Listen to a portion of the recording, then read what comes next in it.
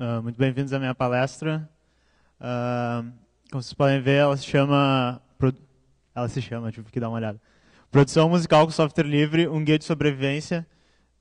É um título, é um clickbait, porque na realidade vocês ainda podem acabar não sobrevivendo.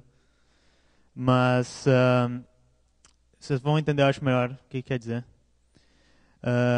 antes de começar a palestra, vou, vou me apresentar. Meu nome é Lucas Fialho Zavac. Eu me formei em ciência da computação na URGS, então eu tenho um, eu sou um, um programador, uh, desenvolvedor, que é o que eu trabalho numa empresa que se chama MConf, que é uma empresa muito legal que eu gosto muito de trabalhar lá, porque a gente trabalha com projeto de software livre também, que é uma, um sistema de videoconferência. Trabalho muito na parte de web, na parte de, uh, de vídeo, uh, protocolos de streaming, WebRTC, essas coisas que não tem nada a ver com a minha palestra, mas uh, para vocês entenderem de onde eu venho. Sou um membro também do Match Hackers, que é um, um hackerspace aqui de Porto Alegre, um coletivo que a gente basicamente aluga um espaço lá e compartilha ele para fazer projetos juntos, para fazer palestras, organizar eventos. Uh, é um espaço também bem legal. E aqui dentro do Fizzly a gente tem uma mesinha ali que tem o Match Hackers e também tem pessoas de outros hackerspaces do Brasil que estejam por aqui. Então, também, se vocês quiserem conversar comigo depois da palestra, perguntar alguma coisa, vocês podem vão me encontrar ali na, na mesa, que está logo aqui na frente das, das salas. E eu sou um entusiasta de, de software livre, música, cultura livre, essas coisas todas, que vocês vão ver durante a palestra o, como é que se entrelaçam esses projetos.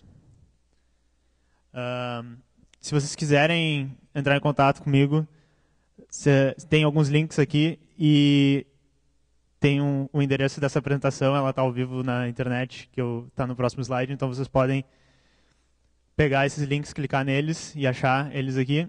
Mas o, o meu aquela string ali aleatória de caracteres, deixa eu só fazer uma coisa. Aquela string aleatória de caracteres ali, LF Zavac, é, se vocês encontrarem isso na internet, provavelmente sou eu, porque uh, ainda não encontrei ninguém com essa exata escrita do, do nome. E daí o meu, o meu e-mail é arroba gmail, o Twitter é esse aí também, GitHub e, e, outras redes que vocês acharem isso aí, sou eu provavelmente, daí vocês podem dizer oi. Uh, eu também, tipo, vocês podem clicar depois, eu vou falar um pouco sobre o, as músicas que eu gravei usando software livre. Isso aqui é um demo da, da minha banda, que é um, umas coisas que a gente vinha fazendo há uns uh, três anos aí, quatro que a gente tava, tinha essas músicas. E daí a gente gravou algumas, eu produzi com software livre, mixei e tal. Sinceramente, eu acho, hoje eu acho que eu podia fazer muito melhor isso. Quando eu acabei o processo, que a gente meio que acabou no final do ano, assim, eu fiquei pensando, com tudo que eu sei agora, eu poderia refazer isso tudo e ia ficar melhor. Mas tu precisa jogar para o mundo a criança, porque senão também uh, fica aquela coisa inacabada que tu nunca nunca vai vai para outra. Então, mas vocês podem ouvir aqui, uh, ver o que, que acham e tem também Vocês podem ouvir em todas essas plataformas proprietárias lindas aqui. Ou no Bandcamp, que tem um link nesse site ali. O primeiro link é o Bandcamp e vocês podem fazer o download das músicas, elas estão licenciadas sobre Creative Commons, todas essas coisas maneiras, tá? Então, esse é o jabá da minha banda. E tá, então como é que vai funcionar essa palestra? Geralmente quando quando eu vinha no Fizzly, eu já apresentei uma variação dessa palestra no Fizzly em alguns outros eventos. Uh, geralmente eu, eu fazia, falava um pouco sobre música com software livre, uh, geralmente Linux, GNU Linux, que é o que eu uso. Uh, mas eu, eu, resolvi fazer uma coisa diferente porque eu, eu geralmente trazia, sei lá, trazia guitarra, trazia umas interfaces de áudio, botava uns tecladinhos aqui e daí eu ficava tipo bip, bip, bup, duas horas assim, uma hora para as pessoas lá e daí ah não esqueci de conectar o cabo aqui, ficava fazendo um barulhão. Não não estava sendo muito produtivo, era divertido, as pessoas gostavam, mas eu vou fazer uma coisa diferente esse ano. Vocês podem ver, eu nem pluguei o áudio ali. Tem alguns exemplos de áudio na palestra que vocês podem ouvir depois no laptop de vocês e tal. que, que eu vou fazer? Eu vou apresentar um pouco da, das coisas que eu já fiz, da minha história, que não acho que seja o foco da palestra, mas eu vou explorar um pouco como é que está essa questão da música com software livre, mais especificamente Linux. E eu vou dar umas dicas de coisas que me ajudaram e também, de repente, ouvir de vocês essas histórias e, e conversar sobre quem quer fazer isso e todos os aspectos que se envolve, uh, o que, que eu acho que são boas práticas, o que, que eu acho que vai ajudar vocês para vocês fazerem a própria jornada de vocês. Então, né, tipo, mas por que, por que assim, tipo, vocês prestariam atenção no que eu estou dizendo? Assim, tem alguma alguma coisa que eu posso oferecer para vocês? Então, como eu disse, eu sou formado em computação, então eu tenho um pouco dessa perspectiva técnica, que eu sei que tipo tem tem que ter bastante para usar Linux com em qualquer outro campo, assim, tem dificilmente tu não não tem que cair num terminal, que é meio chato para para as pessoas que realmente vêm de outras áreas, só querem isso, ah, só queria resolver um problema aqui, queria gravar uma coisa ou outra, tu vai na internet e o pessoal diz, ah, não, abre o terminal, digita esses comandos e tal. Eu sei que tem que ter uma perspectiva técnica, então vou tentar trazer um pouco disso. Mas como eu gosto de música também, e eu considero uma pessoa criativa e tal, vou tentar puxar um pouco desse lado também, daí vamos ver o que vocês acham disso. Eu já gravei vários demos assim com o tempo, que eu mexo com isso. Um, várias coisinhas pequenas, assim, várias coisas mais sérias, menos sérias, e gravei esse álbum, que como eu disse, assim, não é a minha obra-prima, mas foi uma coisa que eu posso pelo menos mostrar para as pessoas que existe tal. Uh, participo da comunidade de software livre e música há uns oito anos. Acho que o primeiro Fizzly que eu vim foi há dez anos, quando eu estava começando a, a trabalhar a computação e tal. Uh, e a comunidade assim, é uma comunidade pequena, que vem crescendo bastante, mas eu, a gente já conhece as pessoas que tem. Falei ali com o Renan. Uh, ele, eu acho que ele já tinha me mandado um e-mail um dia, a gente tinha conversado, eu não lembrava, porque tu acaba conhecendo as pessoas, porque são tão poucas, principalmente no Brasil. Uh, e eu, eu, me envolvo, né, com o trabalho que eu faço com Matt Hackers lá, muito a ver com cultura livre, muito a ver com software livre, e também eu tenho que dizer que eu fui entrevistado nesse site ali, que é um site muito legal, que é tipo como se fosse uma revista de, de mídia é, e música livre. E se, se tem algum lugar que eu podia tipo tirar vantagem de que eu fui entrevistado numa coisa é no Fizzly. Né? Então, me perdoem por esse brag aqui, mas é porque realmente eu falo, tu fala para os teus pais e tal, ah, esse site me entrevistou, ou tipo, ah, que canal vai passar? Ou, então, então, pelo menos ó, aqui eu posso ficar grandão. Tá, mas daí vem uma pergunta legal, que é uma coisa que eu acho que, que tem a ver muito com, com todo esse evento aqui. Por que, por que fazer música com software livre? Porque, na realidade, tem várias dificuldades, tem, tem várias coisas que, que não, não são fazer música que envolvem atividade. E daí eu, eu não botei uma lista de pontos aqui exatamente porque isso é uma questão, talvez meio pessoal, uma questão que varia de pessoa para pessoa. Mas uma coisa que eu gosto muito é que aqui no, principalmente na realidade do Brasil, o software livre, ele substitui um pouco essa coisa de que a galera quer as ferramentas, mas não tem o acesso, seja por falta de dinheiro, seja porque o hardware não não tem, ele não não tem o hardware e tal. E no Linux a gente tem essa coisa de, de dar o acesso livre, mas também o acesso gratuito, que eu acho que é uma coisa no Brasil é mais fácil explicar para as pessoas por que é maneiro ter uma suite inteira de, de produção de audiovisual que é de graça, que tu pode instalar, que tu pode botar num computador mais velho de repente. E porque se tu não faz isso, tu acaba pirateando as coisas e a gente, todo mundo já pirateou alguma coisa alguma vez na vida. Eu não, né? Porque eu tô aqui falando, mas sei que tem pessoas que fazem isso e e eu não queria isso para mim, né? Então foi uma das maneiras que eu comecei. E daí tem todas as questões ideológicas que algumas eu concordo também e mas uma coisa que, que bate muito forte para mim é essa coisa do acesso e essa coisa de adaptar realidades diferentes, que, que é uma coisa que na América Latina, no Brasil e tal, eu acho que é muito positivo e é uma coisa que eu tento trazer meio como um ativismo, como se fosse assim, da, da coisa que eu faço com música.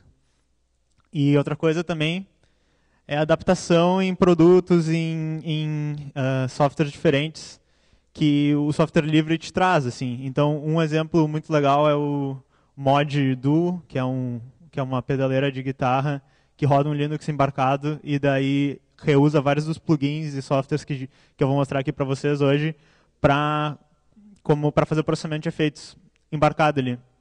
E tu pode programar aquilo ali uh, usando as mesmas coisas que tu usaria para programar uh, essa, esse Linux aqui que eu tenho rodando no, no meu laptop. Então, a possibilidade de criar novos produtos, modificar eles e fazer coisas novas numa área criativa, que é a música, por exemplo, eu acho muito positivo. E com Raspberry Pi e outras coisas assim agora, as outras placas pequenas, eu vejo, eu vejo só coisas boas que podem surgir do fato da gente ter o código aberto e ter esses ecossistemas de softwares. Então é isso aí. Uh, e daí tem essa frase que eu gosto muito também, que, que, te, que tem a ver com tudo que eu falei até agora, que estava no manual de um programa que se chama uh, Ktractor, que eu usei uma época, não uso mais agora, mas eu gosto muito da frase, que é isso aí, não é um requisito, uh, mas se tu é um astro do rock, tu vai ter que, se tu quer ser um astro do rock, vai ter que desenvolver essa atitude rebelde de rejeitar os, os softwares proprietários e populares também, né? E, e tu precisa ser um pouco rebelde para usar o software livre, e é uma questão de sofrimento, mas às vezes é um sofrimento que, que aparece na tua criatividade. Então, mas qual é o status tá, do áudio no Linux? Tá? Então, assim, ó, quando eu falava antes dessa palestra, eu tinha muito mais coisas que eu dizia assim, ah, isso está meio estranho, isso não funciona direito, tu vai ter problemas aqui. Mas hoje, eu posso dizer que tem um subconjunto de, de coisas que tu pode fazer, que tu pode instalar, que tu vai se estressar muito pouco e não vai ter quase nenhum problema, tá? Que eu, eu vou falar no, durante a palestra coisa assim. Mas então, aqui só só coisas legais que eu pego. Então assim, ó, uma grande variedade de softwares que são livres e gratuitos, que naquela veia do que eu disse antes. Uma infraestrutura uh, moderna de como tu conecta os softwares. Então, a maioria dos outros sistemas operacionais, uh, Windows e, e, Mac e tal, eles evoluíram ou já tinham alguma maneira parecida de fazer isso que a gente tem hoje no Linux também. Então, não, não tem muito uma questão assim arquitetural de projeto em que um deles esteja ganhando ou perdendo do outro, todos eles convergiram para uma solução muito parecida, que eu vou explicar depois. Uh, uma comunidade que está alinhada com esses ideais, que daí se vocês curtem software livre, vocês vão estar dentro dessa comunidade. Geralmente, como, os, os, como todo mundo é do software livre, ou todo mundo tem uma certa noção disso na comunidade, uh, a maioria dos programas vão estar usando padrões abertos, formatos abertos que tu pode uh, uh, usar em diferentes softwares que tu vai poder levar para outras máquinas e vai funcionar, que é uma coisa que eu acho muito positiva. Uh, tem muito suporte ao que eu chamei de, sei lá, fluxos de produção. Então, é tipos de música diferente ou maneiras de produção diferentes que tu vai fazer. Então, se tu é um engenheiro de mixagem ou se tu gosta, quer pegar umas, umas partes de música e mixar, tem vários softwares muito bons para fazer isso, que vão oferecer pelo menos assim o que se espera que esses softwares tenham. Se tu quer gravar voz e violão, tem isso. Se tu quer gravar guitarras, tem, tem softwares para fazer isso. Se tu quer hum, fazer música eletrônica, tem muitos. Inclusive é uma área muito forte. Assim, tem vários músicos que fazem só música eletrônica. Uh, e, e, suporta já uma grande variedade de, de hardware diferentes. Infelizmente, o, a questão do hardware, quando a gente só nota quando não funciona o nosso, e daí é isso que acaba sendo bem triste, né? Mas suporta muitos diferentes. E e vamos ver se no futuro os próximos a gente vai conseguindo suporte, mas, mas por, uh, por uma média agora sim tem vários que a gente suporta. Tá, mas então, tipo, quais são os problemas, né? O que, que, que tem de errado nessa... O que, que tem de errado na, na no áudio? E daí, para fazer isso, deixa eu ver se tá, dá, dá para ler mais ou menos. Para tentar, tipo, pegar não só eu falar um recorte eh, do, do, que eu, do que eu sei, eu fiz uma pesquisa super científica que eu fui no, no Reddit de Linux e áudio. E por que, que eu fui nesse, nesse fórum específico? Porque num outro que eu fui, que é o Linux Musicians, que é um fórum, tinha uma galera muito bitolada do Linux mesmo, assim. Uma galera que eu sinto que tinha já estava há uns 8, 10 anos, que nem eu, que se mandasse saber o terminal, eles conseguiam. Tipo, eles já estavam muito profundos para dentro. Então, no Reddit eu estava encontrando pessoas que estavam começando, assim, talvez usando alguns meses, um ano e tal. E daí eu vi as perguntas que, que são as perguntas também que eu, que eu tinha sentido quando eu estava começando. Então, o que eu fiz foi que eu voltei, assim, tipo, um ano de, de posts, achei os que eram algum problema, alguma coisa, e só botei ele em umas categorias arbitrárias ali que eu achei, e daí fiz um apanhado disso. Então, uh, 92 eu voltei, tipo, umas 170 posts que tinha, Peguei 92 que, que, que eram problemas e tal. E daí eu categorizei eles. Então, ali, 19 delas, ou 20%, eram bugs ou dúvidas sobre um aplicativo específico. Então, era coisa do tipo, ah, eu tentei gravar nesse aplicativo, mas não funciona, e daí a resposta era, ah, porque esse não é o botão de gravar, esse é outro. Ou como é que, uh, tipo, como é que esse aplicativo salva em tal formato. Esse tipo de perguntas. Uh, 20, 21% eram pessoas assim, tá, mas eu, eu faço isso no Cubase, como é que eu faço isso no Ardor? Ou eu faço isso no, no Guitar Pro, como é que eu tenho algum software que faça isso? Eram pessoas pedindo coisas que às vezes existem, às vezes não existem ainda no software livre. Uh, 7% mais ou menos eram dúvidas com o Jack, que é uma coisa que eu vou falar daqui a pouco. Uh, 6% eram dúvidas com o Pulse Audio, que eu também vou falar um pouquinho disso daqui a pouco. 14% são o que eu chamei dúvidas específicas do Linux. Então, era um magrão que chegava assim, ah, será que eu posso fazer um script que aciona uma luz que está plugada no meu coisa? E daí era, o pessoal já estava pesquisando coisas, que, perguntando coisas que assim uh, não, não se aplicariam a um Windows, não se aplicariam ao Mac e tal. O que, o que é uma parte talvez positiva que tu vê que tem pessoas pensando em coisas um pouco diferentes, assim, usando Linux, coisas que só, só essa plataforma está propiciando, o que é maneiro. Uh, 13% era qual hardware comprar, que as pessoas já começaram a se ligar que não adianta só tu pegar, comprar qualquer um, gastar 200 reais, 300 reais numa coisa que não vai funcionar. Uh, e, e 15% era problemas com o seu hardware que comprou. Então, se tu pegar aqueles 30 mais ou menos que está ali, aquilo ali é a frustração grande. E daí aqueles 40 mais ou menos são as frustrações de quando tu já está com tudo funcionando, mas tu está tá rodando. E daí ali embaixo tu tem também algumas frustrações que tipo, ah, tá tudo instalado, mas o sistema não funciona, não sai áudio, esse tipo de coisa. Então a gente tem assim alguns alguns certos problemas aqui. E é, algumas conclusões que eu, que eu tiro também. Primeiro que eu tiro que a, que a comunidade é, é pequena, porque alguns outros fóruns parecidos teriam 10 vezes mais quantidade de posts. O que tu pode ver como uma coisa ruim, mas ao mesmo tempo tem uma certa familiaridade de estar numa comunidade pequena ali, todo mundo se ajuda, é, é, é legal. As pessoas ainda têm muitas dificuldades técnicas. A gente ainda tem um problema do hardware que mesmo que tu tenha vários disponíveis, no Brasil é realmente difícil, às vezes, tu conseguir num preço legal, aquele que funciona, e ter a oportunidade de comprar ele e tal. Então, isso é uma coisa meio chata.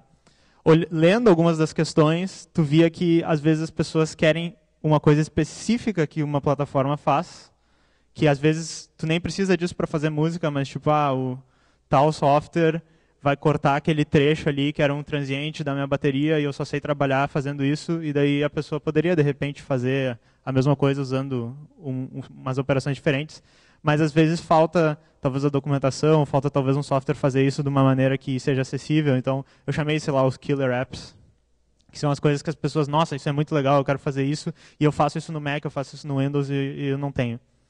E, mas também tu entende uma coisa que assim, a produção musical é um assunto confuso e controverso às vezes, porque se vocês já tiverem discussões sobre software livre ou técnicas, vocês sabem que, mesmo quando a coisa é técnica, uh, tem discussões infindáveis sobre ah, qual é a melhor maneira de fazer isso, qual é, qual é a melhor ferramenta e tal. E daí, numa coisa tão criativa como a música, às vezes tu vai explicar para a pessoa realmente, mas sabia que tu podia fazer isso dez vezes mais rápido e tem um software no Linux que faz isso e tal, e daí a pessoa diz, não, mas eu estou acostumado a usar esse aqui e eu preciso usar esse aqui. E às vezes fazer o quê? A criatividade da pessoa. Isso é uma das coisas que eu notei. Só que uma, uma coisa legal que eu queria fazer um, um mini adendo aqui. Deixa eu, eu vou ficar cuidando dos meus horários aqui só para saber. Uma coisa legal que eu gostaria de fazer um mini adendo é que quando eu comecei no áudio, e até hoje vocês vão encontrar muitas pessoas falando isso, ou posts de blog e tal comentando isso, que o áudio no Linux é uma bagunça. E realmente ele, dependendo de como tu olha, ele é uma bagunça. E há, há, uns 10 anos atrás ele era muito mais bagunçado. Mas uma coisa que eu amo, que eu adoro, é quando alguém desenha um diagrama de como funciona o áudio no Linux. Então eu tenho alguns exemplos aqui. Eu tenho esse diagrama aqui, que, se não me engano, tinha um, post de blog que se chamava The Linux Audio Mass, uma coisa que eu acho que é de 2007 ou 2008, que a pessoa dizia que era um absurdo, que não tinha como entender e tal. E daí fez esse diagrama. Uh, tem esse aqui que é um pouco me melhor, mas eu também acho que eu não, não conheço metade das coisas que estão ali. E acho desnecessário tanto nível de detalhe, mas pelo menos ficou uma arquitetura legal. A gente tem esse aqui. Que, o que está acontecendo aqui? É uma roda gigante. Uh, a gente tem esse aqui também, diagrama famoso. Uh, a gente tem esse que é divertido, mas também que é, é, é um mapinha de, de como funciona. A gente tem esse aqui que é, é o melhor, mas eu acho simples demais. O, sacaninha do Ubuntu ali que fez disse, oh, olha só no Linux tem só duas caixas. E daí tu já toca. E no Windows, em comparação, tem quatro caixas. E tem, o, o, que é, o que é interessante por um lado, porque tu poderia fazer uma arquitetura complicada de, do Windows e do Mac, botar várias setas e tal, várias caixas, também ficaria complicado. Mas esse é simples demais, esse não explica. E esse aqui que sinceramente não é tão ruim para quem já sabe o que está acontecendo, mas tipo, meu Deus, que, que é isso, né? Então, como, como eu queria fazer essas piadinhas, eu mostrei 30 diagramas para vocês. Eu vou dar uma pausa de uns 10 segundos aqui para vocês esvaziarem a cache dos, dos diagramas que vocês viram. Uh, até agora vocês estão curtindo a palestra, pessoal? Se, se vocês quiserem perguntar alguma coisa urgente, vocês podem levantar a mão também, eu posso chamar vocês. Mas então, essa é, essa é a minha sugestão, tá? Esqueçam todos os diagramas que vocês já viram. E essa é a minha sugestão de prática de como pensar no áudio no Linux, tá? Então, assim, vou começar por cima ou por baixo. Vamos começar por, baixo ali, tá? Você tem o teu hardware que eu vou chamar de uh, tua placa de áudio, tá? Então, tu não precisa explicar para as pessoas, pelo menos nesse nível que eu estou falando aqui, que tem um kernel do Linux ali que tem que ter os drivers da tua coisa e que os drivers ficam no ALSA e que o ALSA é uma API de programação, tipo, foda-se, tu não precisa disso. Uh, o teu hardware ele pode ser acessado na maioria das distribuições hoje uh, de duas maneiras. De uma maneira que é a que a maioria das pessoas vai ver, vai usar, que é o Pulse Audio, que eu lembro que quando comecei a gente odiava o Pulse Audio porque ele era bugado e ele cagava tudo, mas sinceramente hoje foda-se, Pulse Audio funciona bem, resolve a maioria dos casos simples e, e eu não estou mais afim de brigar com ele. Eu, eu já, já, vejo ele como uma parte importante do ecossistema. Então, o Pulse Audio é onde a maioria dos, das aplicações normais vão, vão estar acessando o áudio. Então, to, uh, navegadores web, jogos, tocadores de música. É isso aí. E ele just works. A gente chama ele de um servidor de, de áudio e tal. Então, e daí tem as interfaces Pulse Audio lá que tu vai ver quais softwares estão tocando áudio, tu pode aumentar e diminuir o volume dele, tu pode ver quantas placas de áudio estão conectadas no teu sistema. Mas tem essa outra parte aqui, que eu até vou me posicionar aqui, fazer a pessoa ter que mover a câmera, que é o jack, que é o ecossistema de áudio profissional. E daí tu não precisa esmiuçar o que, que tem aqui dentro ainda, porque convenientemente eu vou esmiuçar isso mais tarde. Mas os softwares gravadores, outras coisas, vão usar essa interface para tocar o áudio. E ele também é uma coisa que fica entre o hardware e os teus aplicativos. E aquela seta no meio ali, entre os dois, quer dizer que o quê? Tu pode fazer os dois se ligarem que um e o outro existem e coexistirem.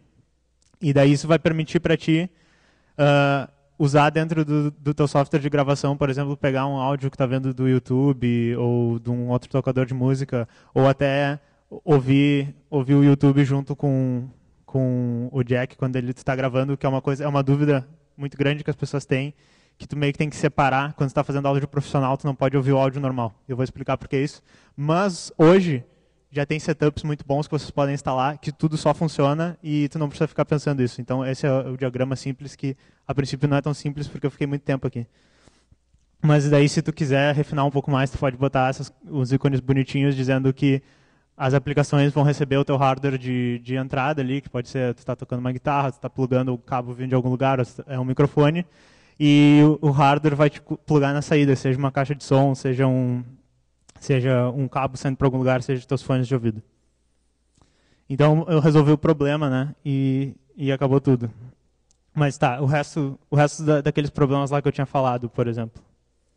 Uh, tem algumas iniciativas da comunidade que eu acho que são muito muito positivas, e daí eu sempre recomendo, e daí vocês... Eu tenho o QR Code ali da palestra, vocês podem clicar nesses links. Então, o primeiro que eu botei é o fórum que eu disse que tem uma galerinha meio casca, que é o Linux Musicians Forum, mas ele é muito bom porque ele tem várias sessões assim divididas por assunto.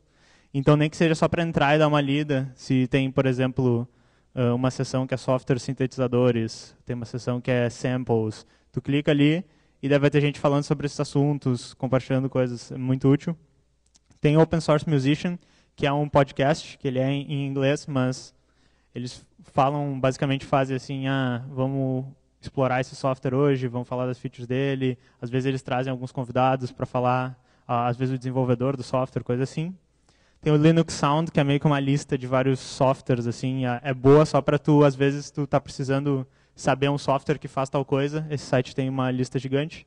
Tem as listas de e-mail, que eu tô nelas até, mas faz um tempo que eu não leio muito. Uh, tem o Reddit do Linux, que eu disse que é uma comunidade legal que eu gosto.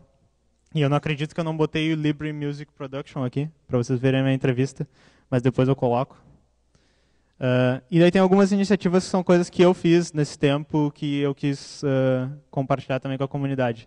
Então a mais importante no momento, para esse momento, é aquela primeira ali, música livre, que eu chamava de livre, mas para não confundir com certos grupos do Brasil, eu achei melhor trocar para Libre, e daí fica mais open source também, mais free software. Uh, que é, é uma wiki para músicos brasileiros ou lusófonos que falam português. Uh, trocarem informações, tutoriais em português, uh, compartilharem as, as, suas músicas, suas páginas de artista, que seja. E tem um grupo no Telegram também, que está começando agora e já está pegando uma atração legal. tem o Musical Artifacts, que é um projeto que eu fiz, que talvez vocês já tenham encontrado ele por aí, que é meio que um repositório para presets, para bibliotecas de sons e coisas em formatos abertos e com licenças livres. Que é basicamente eu fiz isso porque eu vi que a comunidade não se preocupava muito em guardar essas coisas, elas sumiam, desapareciam e, e eram materiais úteis e que sumiam. Então eu fiz esse site, vocês podem acessar depois. E eu também faço essas palestras, oficinas e tal. Eu tenho pensado em fazer mais coisas, assim, tipo talvez uh, alguns tutoriais no YouTube, algum tipo de coisa, a gente vai ver, estou pensando. Vocês podem entrar no grupo e a gente pode conversar sobre isso. E daí agora vem uma sessão meio inspiradora da palestra, deixa eu ver quanto tempo eu tenho, que, que eu vou dar as dicas que funcionaram para mim. Tá? Então, assim, ó, a primeira dica que eu dou, se tu quiser começar no Linux, né, se tu tiver algum outro, algum outro sistema operacional livre, eu não entendo direito. Inclusive, tem um amigo meu que tenta fazer no BSD e a gente tem alguns problemas mais sérios do que os que eu tenho, então não vou me meter muito nisso. Mas então, achem uma distribuição Linux que vai ajudar vocês. Ah, as pessoas já estão entrando no grupo ali. Desculpe por. Deixa eu fechar o Telegram aqui só para não entregar nenhuma informação de vocês de repente. Um, então, peguem uma distribuição Linux que vai ajudar vocês, que não vai jogar contra vocês. Porque tem algumas coisas que são meio chatas de configurar, principalmente se vocês já não mexem com, com Linux. Não vou nem dizer assim que vocês precisam ser técnicos, mas se tu está pulando, por exemplo, do Windows ou do Mac para o Linux, vai ter algumas coisas que vão ser difíceis, sabe? E daí tem um grande problema que é o que eu disse, às vezes tu procura um post de blog explicando isso e tem uma pessoa que fez um post há cinco anos atrás e fez, botou aquele diagrama lá, então, tipo, Pegue uma distribuição que ajuda vocês. A que eu mais amo e a que eu uso é o KX Studio, está instalado nesse laptop agora, que na realidade nem é uma distribuição, é um conjunto de pacotes. Então, tem baseado em Debian e Ubuntu. Tu só instala os pacotes dele por cima e ele tem versões mais atualizadas de vários softwares e, e, alguns, algumas configurações prontas, por exemplo, que fazem o jack e o pulse áudio funcionarem bem juntos, algumas configurações, alguns softwares extras que fazem uma cola entre várias coisas. Então eu gosto muito desse projeto. O cara que faz, que é, é um cara de Portugal, o Felipe Coelho, eu acho. Ele é muito foda porque ele meio que pega assim tudo que já tem e com uma visão de tipo como é que eu vou fazer esse negócio aqui uh, funcionar para os usuários. Ele faz isso. Ele só bota a mão na massa assim e faz o trabalho. E, tipo, eu admiro muito esse tipo de atitude. Tem o Ubuntu Studio também, que é muito popular. Eu usei há muito tempo atrás e não curti muito, uh, principalmente porque eu queria usar, tipo, sei lá, 10 softwares do que vinha e vinha 300 milhões de softwares, mas ele é para multimídia. Então ele vem com vários editores de vídeo, várias coisas assim. Ele é ele é muito bom e eles lançaram um livro agora, Ubuntu Studio Handbook, que eu não tive a oportunidade de, de olhar, mas eu acho que é tipo um manual, então seria maneiro, de repente, se vocês quiserem começar, não sabem nada, assim, dar uma olhada nesse livro. Tem a Velinux também, que é uma distribuição também que eu boto aqui, porque eu nunca usei, mas muita gente fala bem. E já tem várias coisas também para instaladas legais. E daí tem a questão do hardware. E isso é a questão que, que, que ferra tudo, porque se a gente parar aqui, a gente morre na praia. Né?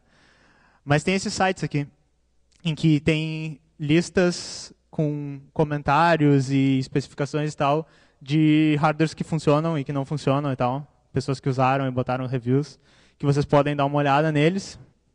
Uh, e eu estou tentando montar no, no site lá, Música Livre, uma lista dos que as pessoas que eu conheço, que, uh, que, que eu já, uh, os que eu já comprei e usei, dos que funcionam e não funcionam, com uma explicaçãozinha assim, ah, assim configura e tal. Porque, de novo, a realidade do Brasil é que às vezes tu não vai comprar a melhor de todas, que é a mais compatível com o Linux, porque tu vai pagar muito caro, não vai conseguir importar. Então, por exemplo, eu, para dizer, eu uso a Scarlett 2 e 2, que é uma plaquinha vermelhinha porreta, assim, é muito boa, e daí ela tem um input balanceado para guitarra, tem para microfone, tem phantom power, tem todas essas coisas, tem duas entradas. Ela custa 120 dólares, mais ou menos. Na época eu consegui comprar no Mercado Livre, na época, sei lá, uns, alguns anos atrás, consegui comprar uma por 550. Mas hoje ela já está muito cara. Então esse é o tipo de coisa que quem tem essas interfaces, quem tem essas experiências e tal, eu peço que a gente vá comece a compartilhar, porque é uma coisa que ia ser muito positiva. Uh, mas daí vocês compraram um hardware que funciona, beleza. Aí agora, uh, digamos que vocês já estão já estão fazendo funcionar as coisas. A dica que eu dou, que agora é a dica mais criativa, é tipo assim, aprenda a usar os softwares, sabe? Ache, ache os softwares que, que, que fazem mais ou menos o que tu quer, mas também não tenham muito medo de pular de um software para o outro, de, de adaptar eles usando o Jack, que é uma coisa que eu vou mostrar. Vocês realmente podem misturar tudo que vocês quiserem no sistema Linux. Então, digamos que vocês tivessem um slide, daí vocês esqueceram um, um insiro texto aqui. Tu tem que improvisar, entendeu? Você tem que inventar uma coisa nova. Mas tu está dentro dos, do confinamento desse slide, entendeu? Então, essa, essa foi a minha metáfora que eu queria passar para vocês. Mas, então, assim, usem a criatividade de vocês, mas digamos que um programa não está funcionando para vocês. É tudo de graça, galera. É tudo aberto. Só abre o instalador de pacotes e procura um programa novo. Então, depende muito de músico para músico, mas essa é uma, é uma variação, assim, uma criatividade que me ajuda também a pensar em coisas diferentes. Não precisa, por exemplo, achar uma ferramenta que é a, a mais poderosa para todo sempre e vocês nunca vão compor uma música em outra ferramenta, nunca vão gravar em nada. E daí a recomendação final é tipo liberta a criatividade mesmo. Usem o que o Linux tem de diferente, que eu vou comentar rapidinho para vocês, para realmente fazerem uma coisa diferente. Não fiquem necessariamente tentando recriar o que vocês faziam em outras plataformas. Acho que se vocês realmente estão interessados em usar isso, ou quem já, come já começou, isso é o mais importante. Não se deixem limitar pelo que já foi feito antes, porque vocês podem, digamos, fazer a mesma coisa, mas vocês podem fazer de um jeito que funciona para vocês e que funciona com o software livre. Né? Essa é meio que a, a, o motivacional que eu tenho para vocês. Mas, mas por onde começar? E eu não sei porquê. Aconteceu isso no slide, mas tranquilo. E daí eu vou falar muito rápido para vocês sobre o que é o Jack, tá? Deixa eu ver quanto tempo eu tenho. Ah, tá legal. Vou falar muito rápido. O Jack é, é, Jack Audio Connection Kit, como todo programa de software livre, tu sabe que ele é bom quando o nome dele é espertinho assim, é um acrônimo recursivo. Ele é a peça fundamental do áudio profissional no Linux, tá? Então o que, que ele faz? Ele é como se fosse um, um barramento, ele é como se fosse um, uma, uma coisa ali que senta na frente da tua placa de áudio. Então ele pega a placa de áudio para ele e ele fica na frente dela. E daí todos os programas que querem usar áudio profissional, seja para porque é um gravador de multipistas, seja porque é um processador de efeitos e tal, todo programa que quer usar o áudio, ele vai falar com o jack, ele não vai falar com o hardware. Beleza, até aí, ok, é uma camada de abstração. Mas ele também faz com que todos os programas que conectam nele possam uh, mandar, mandar o áudio dele para outros programas. Então, vocês vão ver quando vocês usarem o Jack ou nas fotos que eu vou mostrar ali, que o Jack tem uma interface em que ele cria caixinhas diferentes. E todas essas caixinhas são como se fossem uh, tivesse numa mesa ali e tem cabinhos que tu pode botar de um lugar para outro. Então, se tu tem um software que que bota um, um eco numa coisa e tem um software que gera samples baseado em alguma coisa, tu pode plugar um no outro e fazer os samples com eco. Se tu tem um software que faz uma distorção de guitarra e tu tem um software que faz um, um panning, faz as coisas girarem, por exemplo, aparecerem num speaker e no outro, tu pode plugar um no outro. E tu pode tudo que, que aparece como uma caixinha no jack pode ir de um lado para o outro. Isso é uma estrutura parecida que como tu vai encontrar em outros sistemas operacionais também. E isso é muito legal para a parte criativa, embora seja um pouco bagunçado que nem que nem era uma mesa cheia de cabos quando a gente não estava no, no reino digital ainda. Mas outra coisa que ele faz maneira é que ele garante que, que os softwares que falam com ele para mandar áudio, para receber áudio, vão estar tá recebendo e mandando numa, num tempo específico, que é o que a gente chama de latência. Então, quando tu conecta uma coisa no jack, tu vai configurar ele e dizer assim, eu quero uma latência de 10 milissegundos. Isso quer dizer que do momento que ele começar a gerar o som, que é, por exemplo, eu falei no microfone, que está conectado na minha placa de áudio, até o momento que eu vou escutar, que seria num, numa caixa de som ou no meu fone de ouvido, vai ter se passado 10 milissegundos. Tá? Uh, e é constante esse tempo. Sempre vai ser 10 milissegundos. Ele não vai variar, ele não vai ser mais, ele não vai ser menos. Qual é a vantagem disso? Tá? A vantagem disso é que, como músico, a gente, com certeza, estou tocando uma guitarra e ouvindo o efeito dela. Eu não quero que esteja atrasando muito. Para o ouvido humano, qual é o atraso que é mais ou menos aceitável, que tu vai ouvir aquele som e vai dizer, realmente fui eu que gerei isso. Não é um eco que está vindo de um canto, não é alguma outra pessoa que está me sacaneando e fazendo um som. Fui eu que gerei esse som sei lá, 50 milissegundos. Mas 50 milissegundos já é um pouco demais, assim. Então, tu pode descer. Tem pessoas que dizem que não conseguem com menos do que 5, não conseguem com mais do que 5 milissegundos. Sinceramente, 10, 20, tá tranquilo. Eu uso 10 geralmente, tá? E ele vai garantir isso para vocês, tá? E daí a única limitação é que se vocês quiserem uma, um número muito baixo, vocês vão ter que usar mais processamento. Porque ele não vai atrasar para vocês. Digamos que ele tivesse que processar muita coisa, só que tem muita coisa para processar e já deu 10 milissegundos. O que o Jack vai fazer é que ele só vai mandar um, um zeros ali ao invés dos números certos da placa de som e daí você vai ouvir um pequeno glitch no áudio. Então, essa é a troca que a gente faz. A gente garante uma baixa latência, a gente garante ela sempre igual, mas a gente precisa de processamento para fazer isso. E quanto processamento, depende de quanto quantos plugins e quantos softwares vai rodar ao mesmo tempo. Mas nesse, nesse laptop eu consigo botar bastante coisa, até fazer uns projetos bem grandes. Ele é um i7 de, sei lá, algumas gerações atrás. Já tem processadores melhores. E consigo 10 milissegundos, tá? E daí, de novo, se tu não está gravando o áudio, ou seja, se eu estou falando no microfone, eu queria ouvir com eco a minha voz. Queria ouvir com, com um efeito a minha voz. Ou eu estou tocando a guitarra, queria ouvir a guitarra. Depois desse processo de gravação, quando tu está só ouvindo o áudio, tu está só na frente do computador, digitando coisas, mixando as coisas, tu não precisa ter uma latência baixa. A latência baixa é só para quando tu está ouvindo o feedback em tempo real. Então, tem muita coisa que a gente pode fazer aqui. E outra coisa legal que o Jack faz também, que eu não vou demonstrar muito aqui, mas os softwares podem estar tá tocando todos na, sincronizados, que é uma coisa que vai muito nessa coisa de plugar os softwares diferentes. Tu pode dizer, por exemplo, eu tenho uma bateria aqui que está fazendo uma batida a 120 BPM, e daí eu tenho um, um, baixo que eu escrevi num outro software e vai estar tá fazendo uma coisa aqui, e eu tenho um, um projeto que está gravando isso, e todos eles têm o seu conceito de batidas por minuto, de BPM. Mas o Jack vai dizer assim, ah, olha só, a gente está a 120 BPM, fiquem nessa velocidade. Aí tu pode ir lá no software que está controlando todos, que é um é o, digamos, o mestre da velocidade e dizer, não, agora a gente está a 180, todo mundo vai ficar mais rápido. Tu pode dizer, não, agora a gente está a 80, todo mundo vai ficar mais lento. Então ele tem esses conceitos, que são conceitos que foram replicados ou já existem em, em, outras plataformas também. Tem uma que se chama Ableton Link, eu acho, que é proprietária e que faz coisas bem parecidas. E assim, ó, como é que funciona o Jack? Tem esse diagrama aqui, mas tipo, era só uma, um callback da piada velha.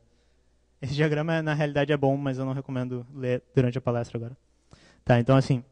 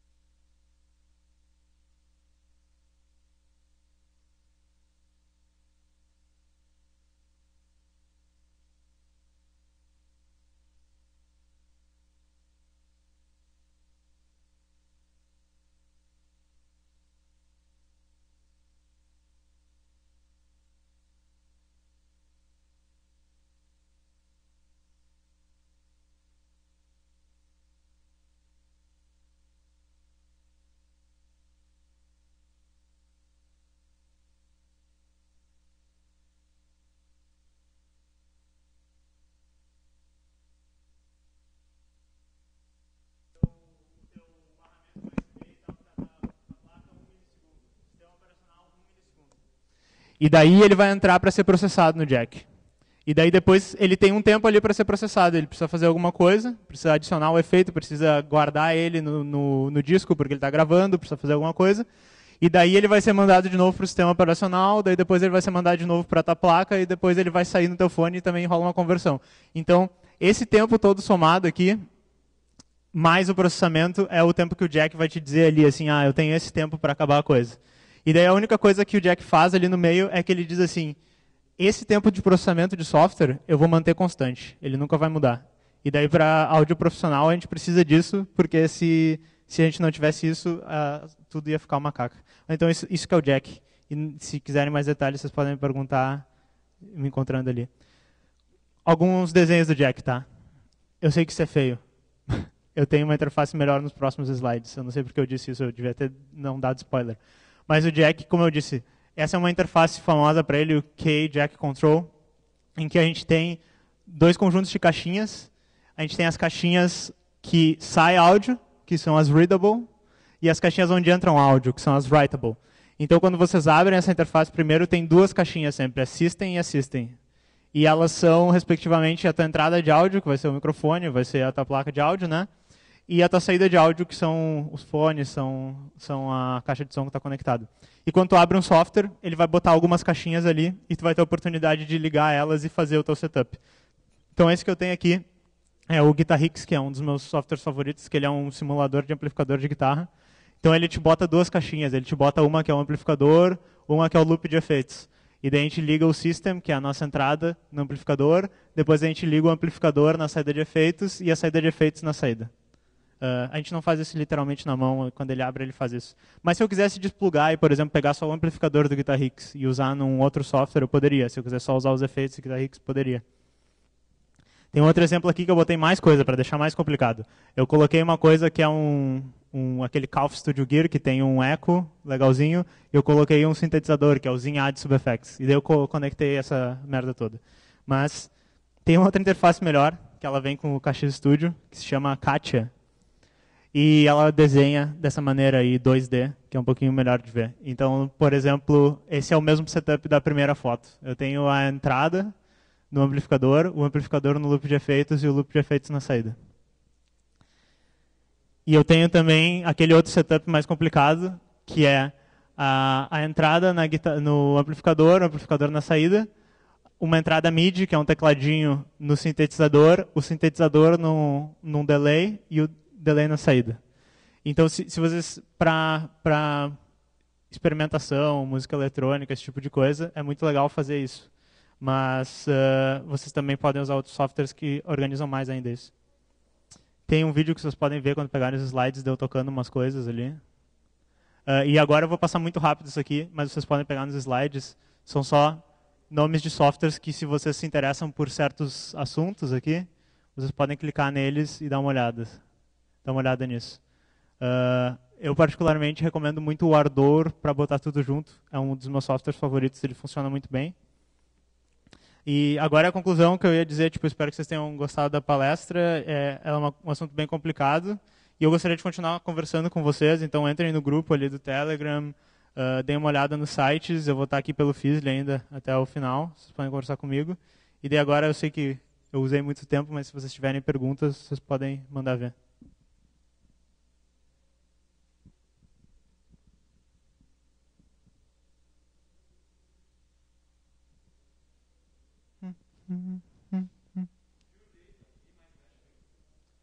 Não, cara, um monte de gente mexe com Pure Data, assim. Uh, eu não mexo muito, mas o Pure Data é basicamente isso, né? Só que dentro de uma, esse sistema todo modular, conectado e tal, né? Sintetizadores. Muita gente tem mexido com Max MSP, e eu vejo muita gente falando disso, mas Pure Data ainda é muito usado, assim. É só...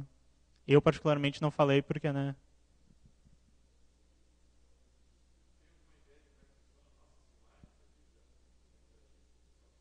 Não, não, não falei com vocês, mas como é que vocês, que, que vocês fazem? Vocês querem? Aham. Uhum. Com certeza. Sim, é aquela pirâmide lá. Tinha um G-Streamer no meio.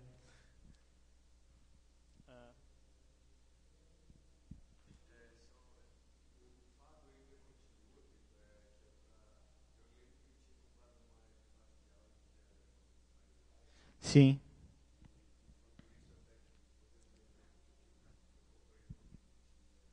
É, a diferença é que é que o, basicamente os drivers para FireWire são meio problemáticos, né? Mas tu usa tipo um, um treco diferente, que é esse F fado aí, que tem os drivers. E isso, tipo, isso a princípio funciona, mas é que eu nunca tive que fazer, então eu não sei quais são os problemas específicos que acontecem, mas eu vi que as pessoas falam assim. Isso é, é uma É, é que assim, basicamente o que aconteceu, né? O problema do hardware era muito porque todo fabricante tinha uma coisa proprietária dele. Aí, eventualmente, na, com USB 2.0, criaram um standard que é tipo assim, todos os fabricantes implementam esse mínimo aqui, e daí o hardware vai ter os controles já na interface certinho, vai tudo funcionar. E daí, principalmente, eu acho por causa do iPhone e iOS, muitas, uh, uh, uh, o Mac também, que a Apple disse, ah, a gente vai usar isso daqui. Aí muitos fabricantes meteram essa interface padrão aí, e daí funciona. E daí o Linux implementa isso. Então, a maioria do USB, tu pluga, está funcionando, não tem o que fazer. Mas essas FireWire têm certos problemas ainda.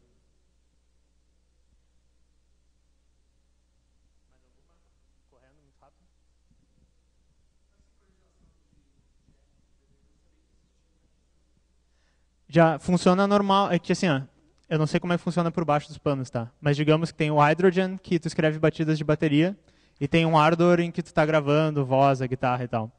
Nos dois tem um botão lá que se chama Jack Transport, tá? E daí no Ardor lá tu clica nesse botão e daí vai ficar verdinho. E daí ele vai reconhecer outras coisas que estão tão, que sabem do que que é o BPM. E daí geralmente ele vai começar sendo o mestre que ele chama, o Ardor. E daí quando tu der play no Ardor, ele vai dar play no, no Hydrogen e vai e vai setar o tempo do, de um em outro, tá?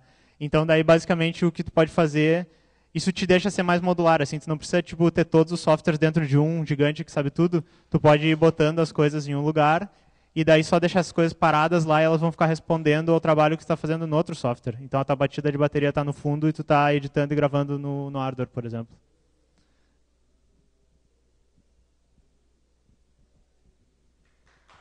Obrigado, pessoal.